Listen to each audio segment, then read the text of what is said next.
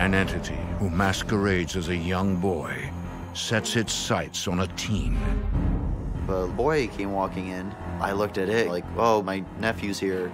I looked over and I realized no.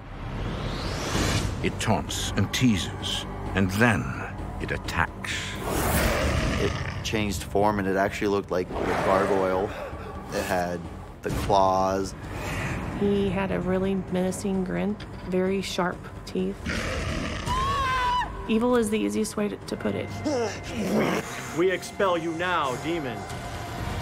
I knew the battle had begun. Go after it. Can he be saved before it's too late? This demon was trying to take full possession of Nolan. In America, there is real evil. It lurks in the darkest shadows and in our most ordinary towns. Between the worlds we see Someone's in my room. and the things we fear, there are doors. When they are opened, nightmares become reality.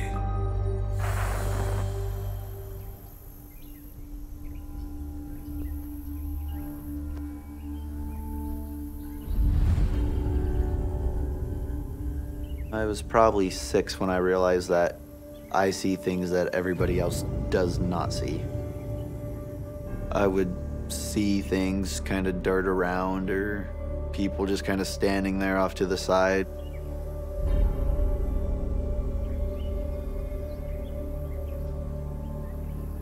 Is it him? Is it Grandpa? Yeah. He could tell you anything about his great grandpa. He'd gotten his arm caught in a corn picker when he was younger, and it was off just above the elbow, and he knew which arm. Nolan was a year old when he died. Come on, son. Help us pack the car. Sure, Mom. Jacque Lydolf doesn't question her 16 year old son's gift. She has gifts of her own. Mine's more just the feeling. I don't necessarily see it, but I still have that feeling to know that there's something. I have strong instinct. The odd man out is Nolan's dad, Dennis. I wasn't a believer in anything paranormal. I kind of dismissed it. While he doesn't share his family's paranormal sensitivities, Did you grab that for me? he does play along when planning the annual family vacation. I think I may have found something in Branson you'd like to do. I asked Jacque, so you think Nolan would want to go on a ghost tour? And of course, I knew the answer to that. A ghost tour. You know me well. The family heads off on a six hour road trip from their home in Stockport, Iowa, to Branson, Missouri, driving through the Midwestern farming belt. Stockport is a really small town. It's basically all agricultural base. Growing up in a small town, you know, learn to enjoy this quietness that you do have whenever, you know, you're not harvesting or anything and it's nice knowing that when you go somewhere that you will know someone.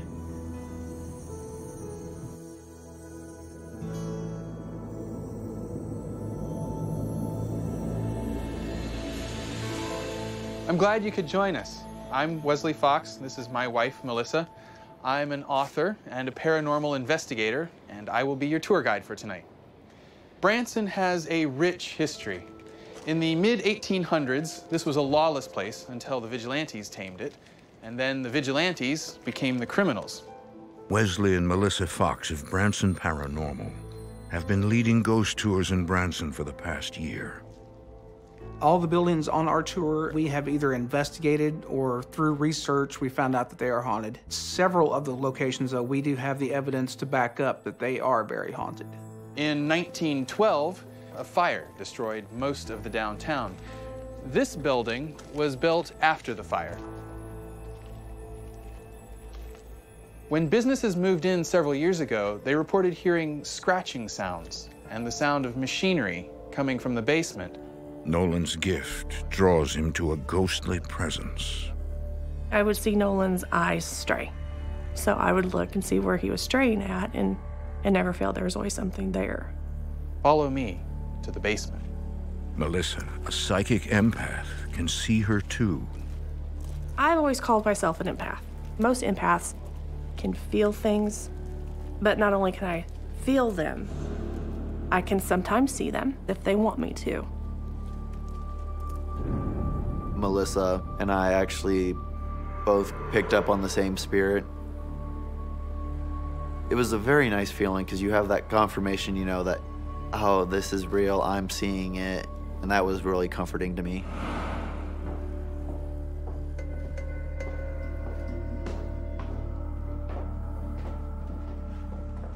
Follow me. Come all the way in. That's it.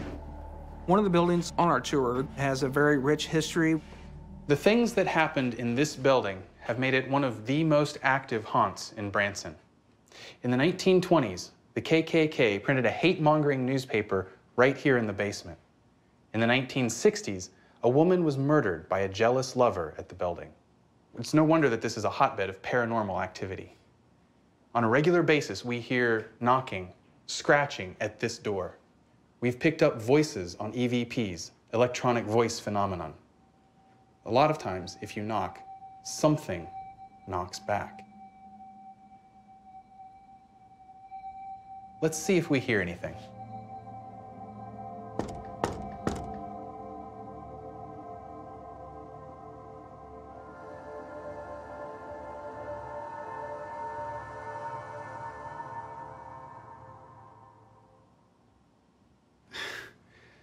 Well, folks, spirits will be spirits. I guess no one's answering the door tonight. Follow me.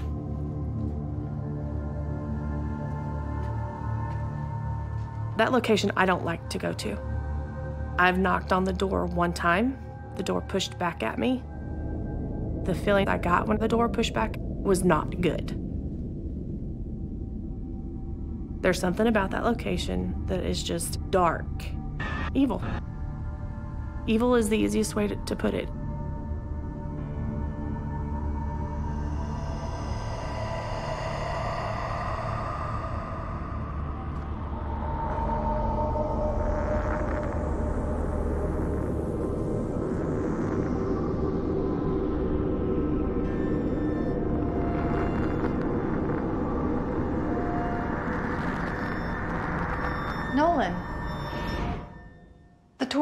Upstairs. I'm gonna lock up. Thanks, Melissa. After Nolan was on the tour, people could go down there and knock on the door, and nothing happened. That location became dead, which before it was one of our most active locations.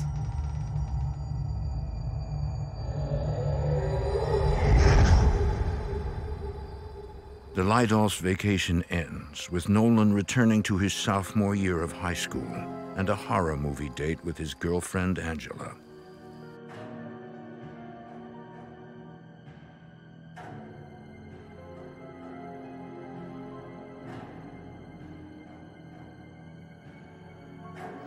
Oh my god, why are they just sitting there? Who does that?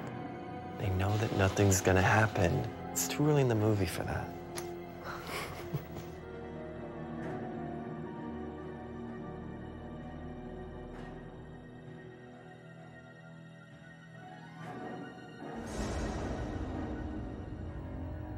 We started noticing movements. They would get really close to us and then run away. And we looked over and you couldn't see anything. But we both swore that something had entered the room.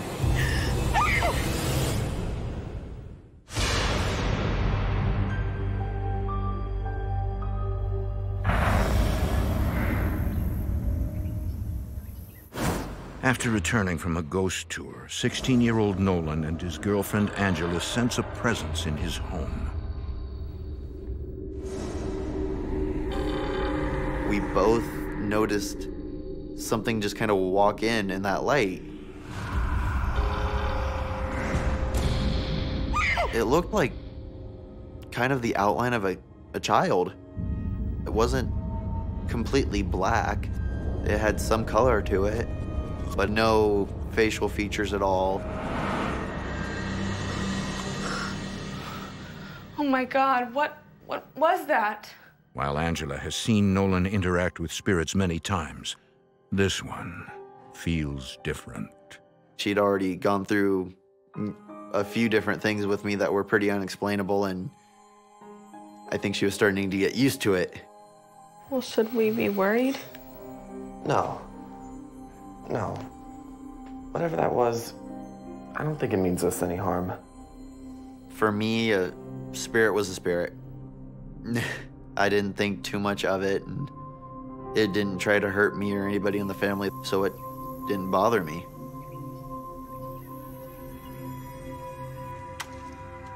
Nolan returns home from basketball practice.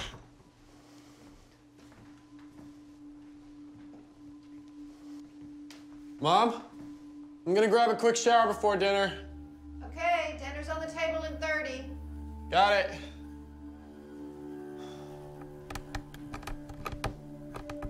Tiger? Did you get stuck in the basement again? My room's in the basement. I heard a scraping noise. Tiger? And I thought, oh, one of the cats got down in the basement and were wanting back up. And I opened the door and there was nothing there. Tiger? So I went down and actually searched for the cat.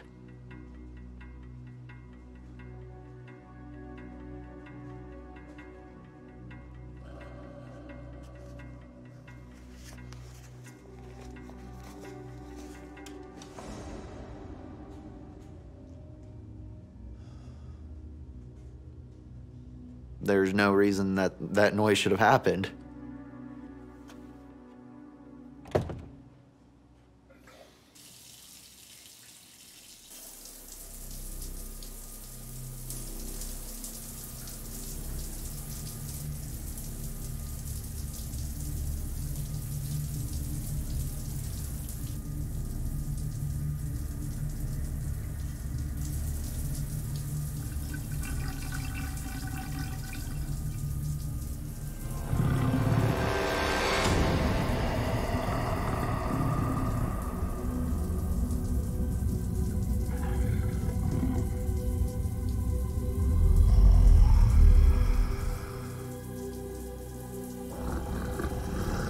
I was in the shower and I heard growling.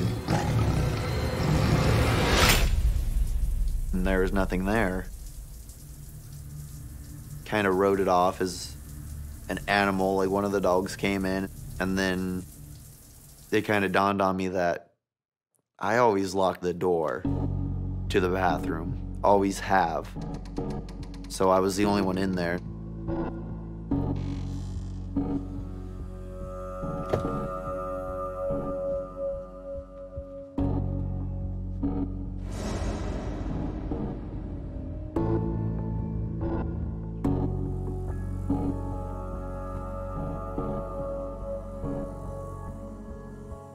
A back room that we use as storage. We put the decorations and everything into.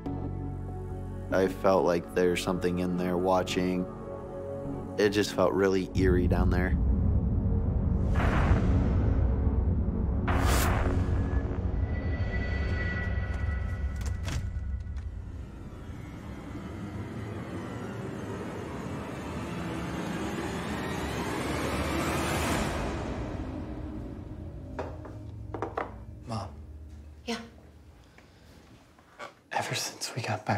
Back I've been sensing weird things. Really? Like what? When I was in the shower, I heard something. And that storage room is giving me the creeps. I talked about the back room and the feeling I got. There was something down there. I've never felt comfortable in that storage room. But this is different. What are you guys talking about over there? State secrets? Yes, we are, and you don't want to know these state secrets, trust me. Discussing the paranormal with Dennis, he just really never believed anything we was telling him. So most of the time, we just didn't discuss that. It was just kind of Nolan and I talked about it. Him and his mother talked about these things uh, more amongst themselves. And They knew I didn't believe a lot in that.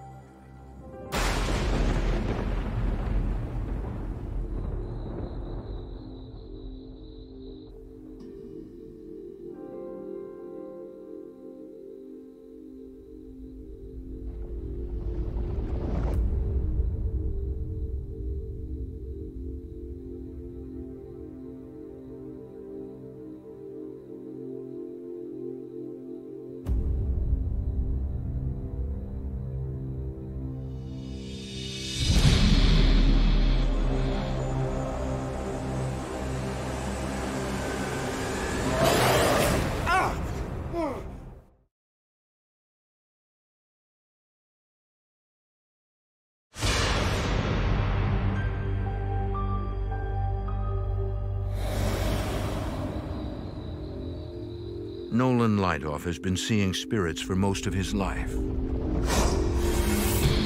But they have never hurt him. Something scratched my right arm all the way down the forearm. Nothing should have been in my room that could scratch me. I mean, I was fast asleep. It was just really insane because it was just, I woke up to a burning sensation on my arm and there's just no explanation for it. I realized it was more than just a spirit. You know, it had intentions. It wants to cause me harm.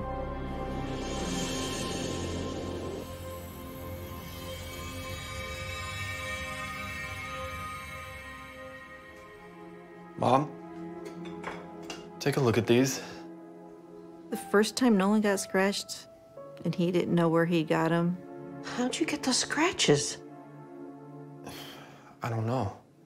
I just asked him what he did, you know, whether he scratched himself in his sleep or I wasn't sure what he had done. Wash it and put some disinfectant on it. Okay. Trim your fingernails. I didn't do this. She wondered at first if maybe I had done it to myself, but I think it was obvious that I didn't.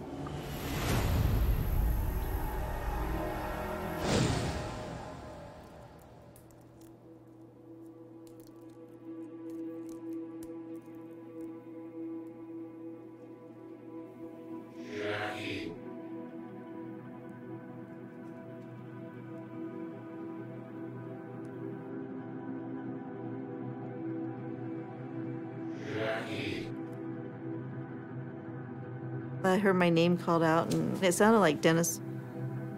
And he was supposed to be at home at the time. Dennis?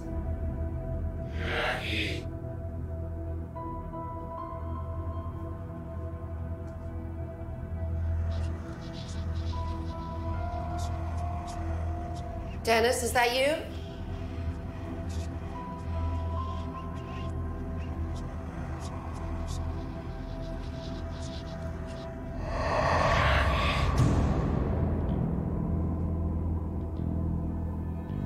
Think to yourself, am I just seeing things, or is there, you know, was there something just went by, or the wind blew or something? And it's like there's really no rational explanations.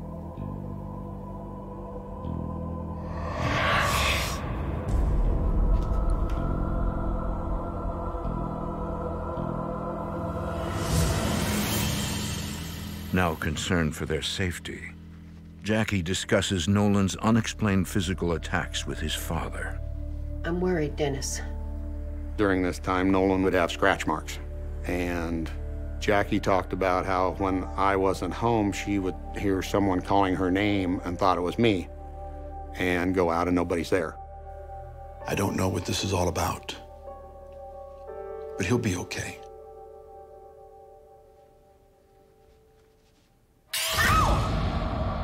All of a sudden, I had scratches down my arm. Oh my God, Jacque. She had basically claw marks on her arm. Something is going on in this house. We need some help. Yes, we do. I try to rationalize everything, and there's just so much stuff going on that it can't be explained or rationalized. That's when he realized that we did actually have something going on, and that it was physical. Not knowing where to turn, the family contacts the guides from the ghost tour, Melissa and Wesley Fox of Branson Paranormal. They were hearing growling sounds at their house. Um, Nolan and Jacque both had been scratched. When there's a scratching, especially in threes like theirs was, it was demonic. Wes explained that most of the time when it comes in a pair of threes, that it's demonic and that it's making fun of the Father, Son, and Holy Ghost. It's a mockery of it.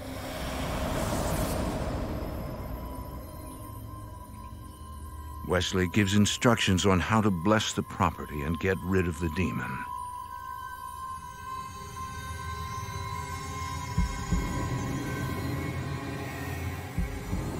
Three months pass by without any activity. It appears to have worked. My hope at that point was that everything was done. Like it was just finally over with and that everything could go back to normal.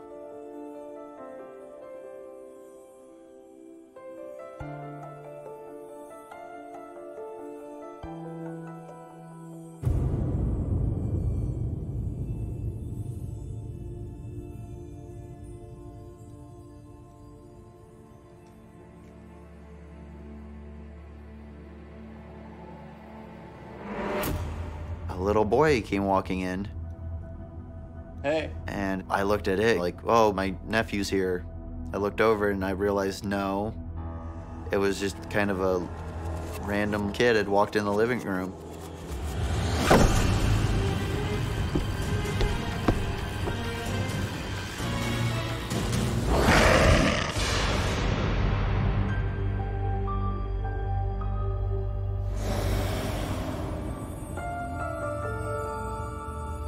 Sixteen-year-old Nolan Lydolf has interacted with ghosts since he was a little boy. But a gift that was once innocent and comforting has attracted unbridled evil. It changed form and it actually looked like kind of like a gargoyle like figure. It had the claws and it was all hunched up on the ceiling. And then it just kind of went straight up and through and disappeared. I'd never seen anything like that. It was just so large and so close and so sudden. It just took me off guard. This was like the first moment where it ever went, this is what I look like. Here I am. This is what you're going against. It scared me. I wasn't ready for that, and I just kind of kept that in. I didn't tell anybody about that experience.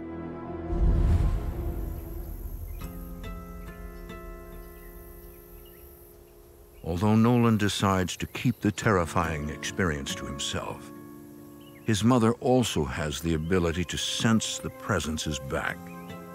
It wasn't the same feeling that the house had always had before. I knew it was there, but it never made itself seen to me. I mean, I just had the feeling.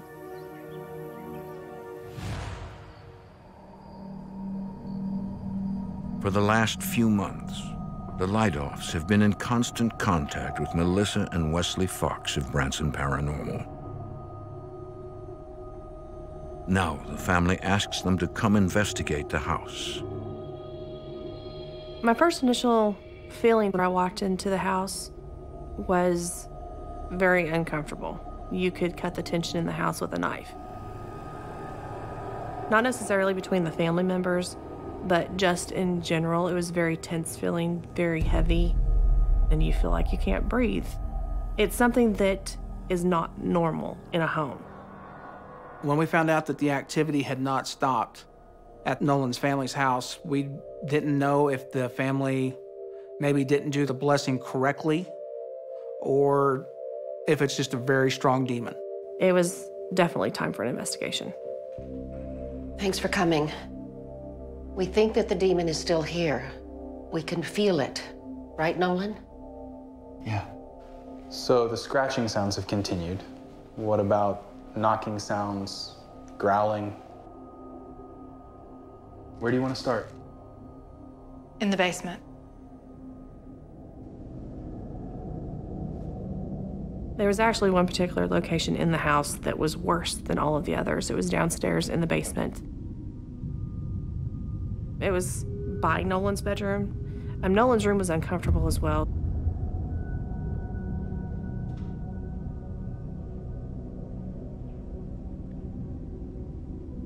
But there was a little area of the basement that was very uncomfortable. I did not like to go back there.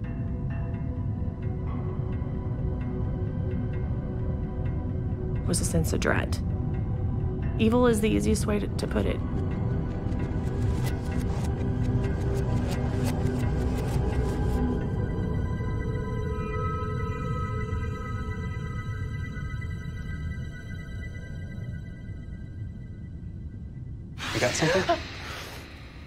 What are you sensing?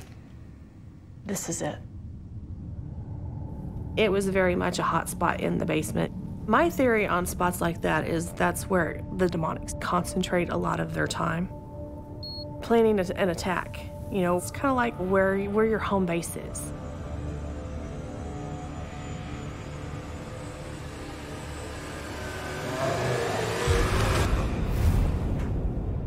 But the demon doesn't stay in one place for long. I could feel the entity anytime I would go into one room, it would run to another room. It was hiding. It did not want me to get a good look at it.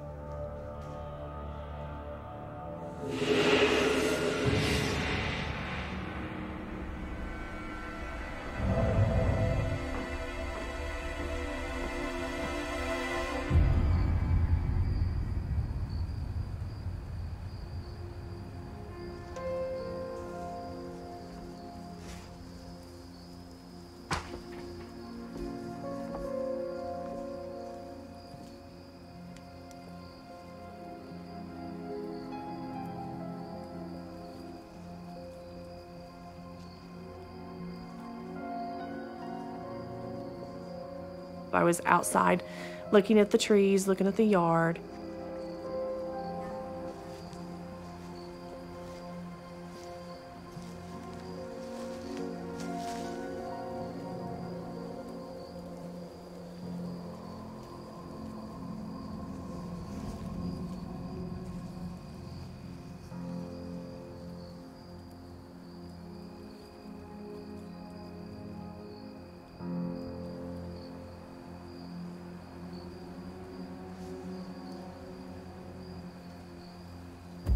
There's one particular tree which I saw from the back of the house.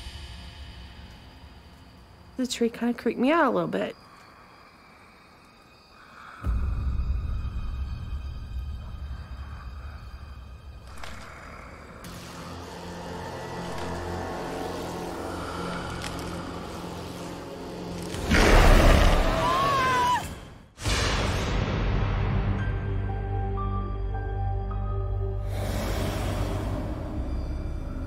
After sensing a demonic presence, the Lydolf family invites paranormal investigators into their home. We think that the demon is still here. We can feel it. It did not want me to get a good look at it. It didn't want me to get a good feeling on it.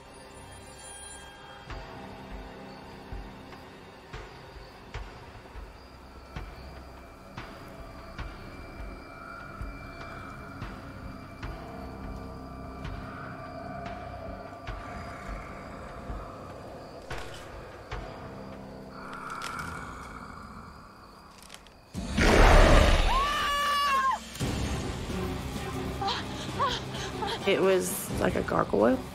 He had a really menacing grin, lots of teeth, very sharp looking teeth. It frightened me.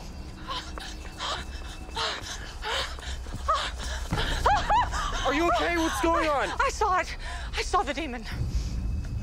Nolan is petrified. Could it be the same demon he's been seeing?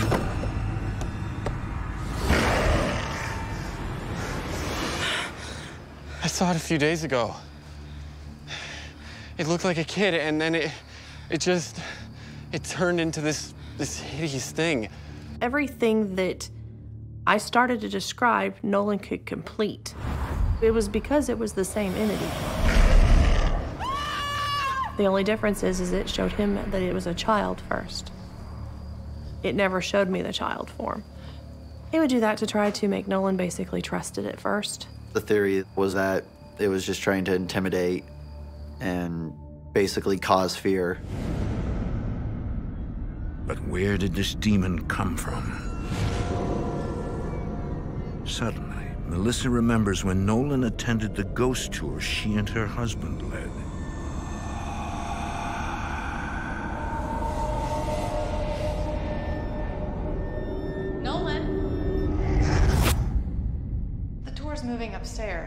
It's a very good possibility that on the ghost tour that something followed Nolan home.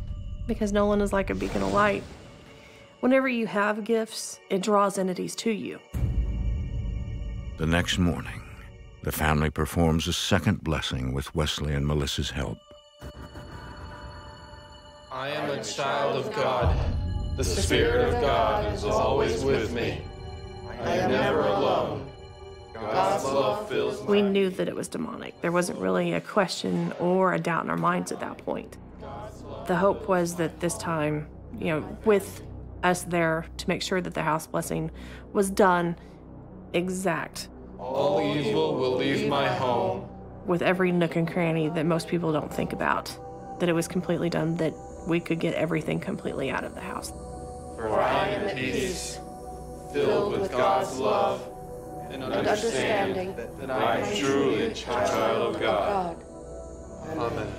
If it's a very strong demon, it's not going to let go easily. So we had to do more things to help out. After they left, we all were pretty hopeful that this might be the last time that anything would happen. The house. I just had a warm, warmer feeling about it and maybe a little brighter. They all agreed that what had been there is actually gone. And Melissa, before they left, she said, you know, she felt pretty good that it was gone.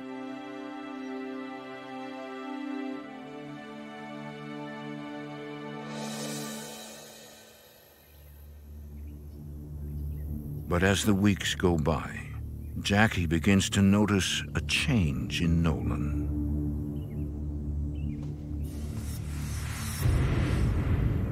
Nolan. Where'd you get that bruise? His bruises was more frequent. I mean, he had some scratches once in a while, but it was more the bruising that he would have. Was it basketball practice? No. What do you care anyway? Hey! I was concerned about his behavior and his mood because he was more irritable, negative. He wasn't as happy like he always was before. It started becoming pretty common for me to only get an hour or two of sleep every night. According to my mother, I was getting moodier and more upset fairly quick. Kind of started distancing myself basically from everyone.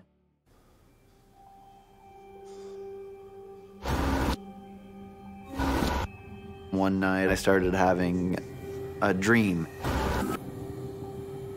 And in this dream, I would actually find myself in that back storage room.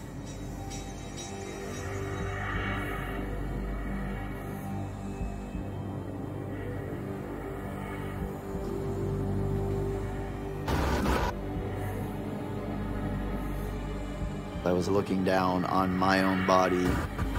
It looked like I had killed myself. There was just blood on the walls, and I was just laying there motionless.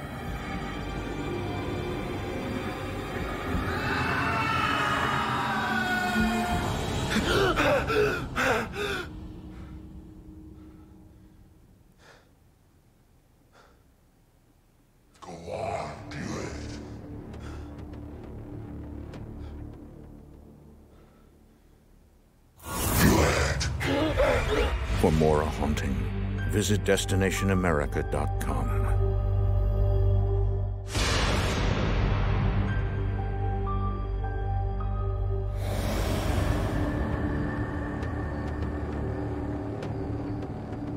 For weeks, Nolan Lydolf has suffered terrifying nightmares in which a demon tells him to kill himself.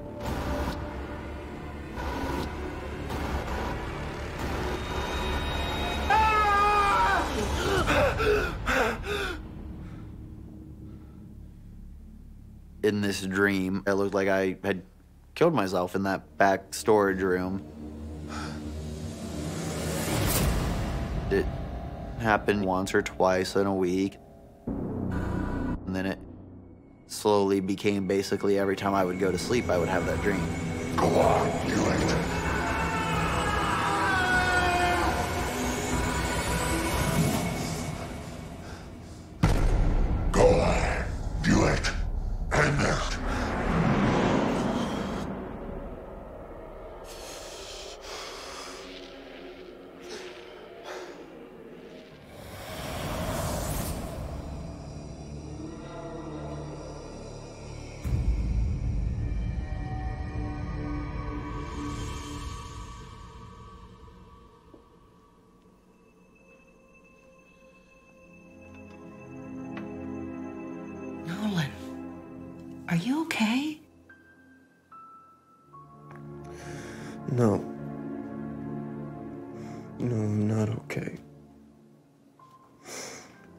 can't sleep.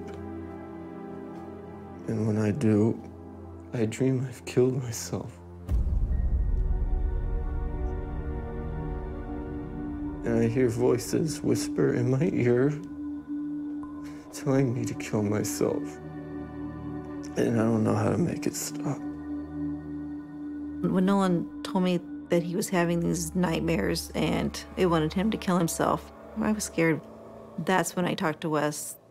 Wesley Fox of Branson Paranormal has been advising the family on how to get rid of the demon. Wes, hi, it's Jacque. We're having some trouble here with Nolan. It's just getting worse. This thing is telling him to kill himself. I don't know what to do. Jacque told me about the voices that Nolan was hearing in his head, and these voices were encouraging him to kill himself. And I wasn't sure how much more Nolan was going to be able to take. We were concerned that this demon was trying to take full possession of Nolan. You want to what? Okay. Thank you. Bye. I think the demon is attached to Nolan, not the house. And it's trying to possess him. I think he needs an exorcism. Is that safe? That sounds extreme. Do you want this thing to kill our son? No, of course not. I don't think we have a lot of other choices. You're supposed to be your family's protector. Once I realized what was actually happening, I told Jacque, I said, we'll get him down there because they, they know what they need to do.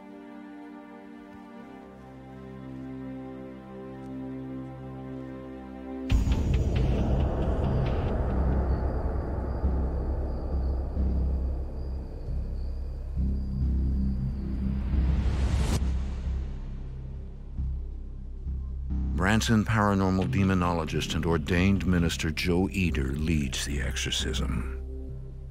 When I got the phone call that he was going to commit uh, suicide, we had to do an exorcism. This demonic entity had the strength to actually interact with his, his body. Before we begin, I'm going to baptize you. In the blood of Jesus, in the word of our Lord, you are now baptized. Let's begin. Baptism is a, is a cleansing of the spirit, and I, I believe the mind. We, the children of our Lord, we pray now. Now God steps in. We profess our lives to Jesus and our Lord. And a demon really can't attach on to anything. We are saved this day, this time, this hour.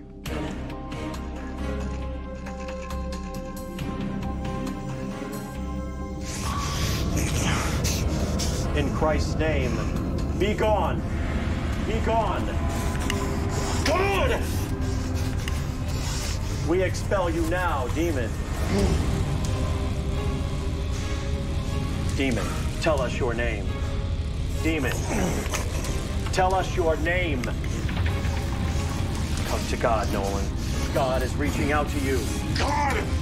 Your God is a joke! We, The children of our Lord, we pray now. His whole appearance changed. At that point, we knew that Nolan was not there. Our lives to Jesus and our Lord. We are saved this day, this time, this hour. Nolan's eyes were completely black. Tell us your name, demon. Not gonna say it! And the voice coming out wasn't his voice. Say your name. No! Say it! Exit! Exoton, I command you in Jesus' name to leave this body and return to hell.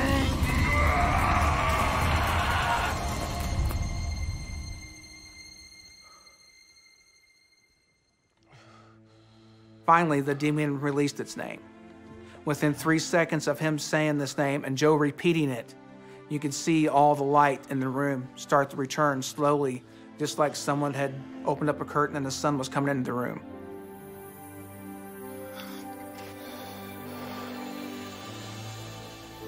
The next thing I remember is waking up and just feeling really drained. Wes was just kind of like, Well, how you feeling? And I'm like, I feel like I just went through a fight. It's kind of like he was waking up from a sleep and he doesn't remember anything of it.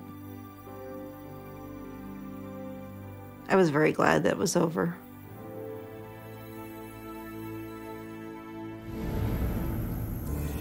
With the nightmare of the demon behind them, the Lydolfs look forward to a new chapter in the family's life. You thinking about getting any training in Atlanta?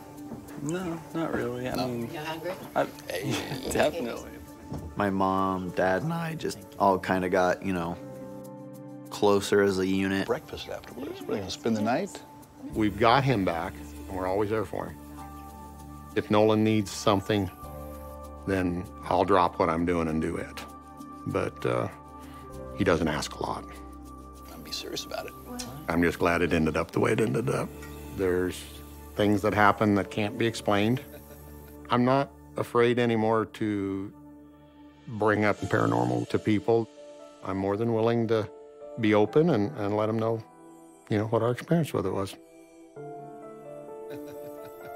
With everything that's gone on, we're still dealing with it.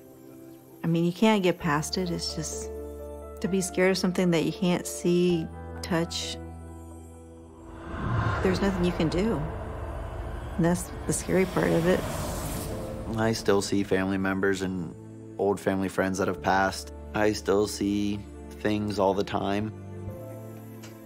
I'm not gonna stay in the upstairs. That's something I feel like I'll probably have for the rest of my life, and I'm okay with that. I consider it a blessing.